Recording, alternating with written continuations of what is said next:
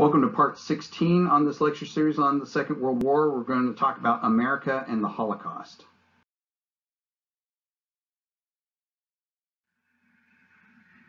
Now, the Holocaust is a pretty broad subject, and so we're not going to go into great detail into the Holocaust in its entirety. We're only going to look at the American perspective of this. And one of the questions that often comes up is, when did the American public find out about the Holocaust?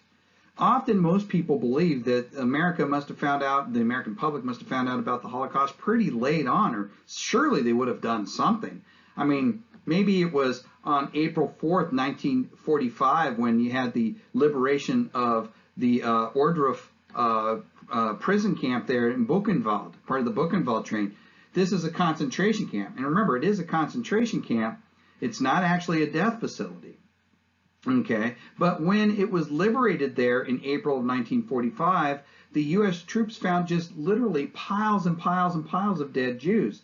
When uh, resources became scarce, when things became des desperate for the Nazis, the very first thing they did was start to abandoning taking care of their prisoners of war or their prisoners in the in the concentration camps, and so they're going to die in large numbers. Eisenhower was so incensed by this, in fact, that he actually forced the nearby town of Weimar to come and every adult citizen had to tour this plant and he forced them to clean it up as well. Because he said, there's no way you can tell me that you didn't know this was going on here just because of the smell. Right? So a lot of people tend to believe that this is also when the American public found out, was when news in early 1945 started to come out about the liberation of these uh, concentration camps. But it's not really true. In reality, the American public knew about it much earlier.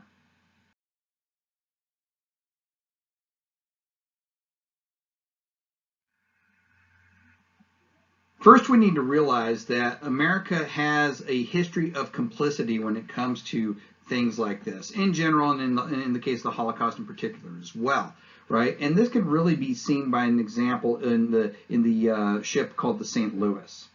In May of 1939, a ship called the St. Louis left Hamburg, Germany. It was loaded up with about 938 German Jews who were trying to escape Nazi Germany, trying to escape the Nazis, right? They were bound for Havana, Cuba right? When they arrived in Havana, Cuba, the Cuban authorities refused to allow them to make port, allowed them to disembark the Jews right? So these Jews are now refugees without a nation. Where's the most logical place to go if you got turned away from Cuba? Well, the United States. It's only 90 miles away to Florida. You can get from Cuba to the United States in a Ford pickup truck converted into a raft. How do I know this? Because somebody did it, right? So that's the most logical place to go. The St. Louis went to the United States, but the United States also turned them away. Why? Well, because remember all those immigration laws we have on the books? We'd already hit the quota for Germans and Jewish immigration into the United States for the year. So here it is, you know, May of 1939, we're turning these people away. These uh, Jews now spent about a month at sea trying to find a home, if you will. And finally, what ultimately ended up happening is Britain, Holland, Belgium, and France all made a deal to split them up and take them in, right? Um, of the 938 Jews, then, that puts 620 of them back on the continent of Europe itself. The rest of them are in Britain. And as you know, this is May of 1939. Well, by the end of 19, uh, by May of 19, end of May 1940, all that region is under Nazi occupation again. These Jews find themselves right back under Nazi rule. Those 620, most of them disappeared into the Nazi concentration camp systems, and only 278 of them survived the war. Of course, the St. Louis doesn't represent the beginning of the Holocaust. As a matter of fact, even when the war began itself, there was no real Holocaust yet. That actually comes later. It's another misconception we have. But atrocities are going on, and we know about it very early on. This here is the Black Book of Poland, right? The Black Book of Poland was distributed at the World's Fair in New York City in December of 1939, only a couple of months after the war against Poland had begun. In this book, it talks about the taking of Jewish land, the rounding them up, the creation of ghettos and placing them into ghettos. The only thing that you don't have in this book is the the Einsatzgruppen gathering up Jews and taking some of them out to um, to ditches that were pre-dug, put them in there, and machine gunning them. Pretty much everything else in there is already laid out. The Americans already know that these kind of things are going on, right? Well before you have a Holocaust. And like I said, Holocaust hasn't even actually started yet.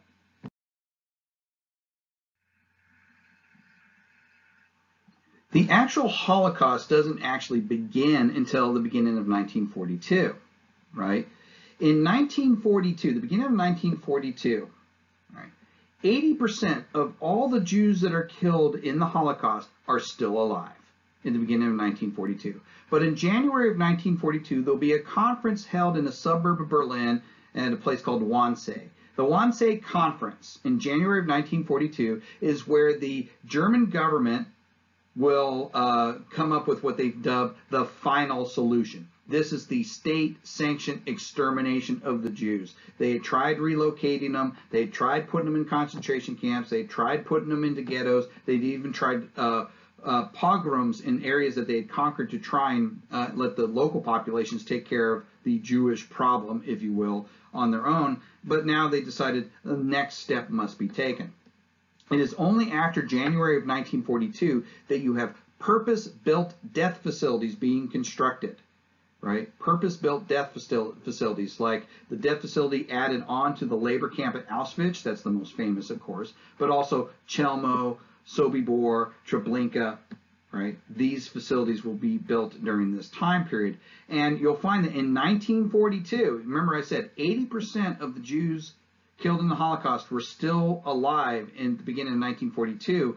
By the end of 1942, another 60% of those total that had been killed will be killed in just that one year. It is the largest year for as far as the extermination of Jews.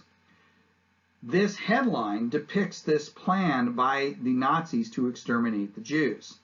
Himmler programmed to kill Polish Jews, slaughter of 250,000 in plan. This is in the New York Times, right?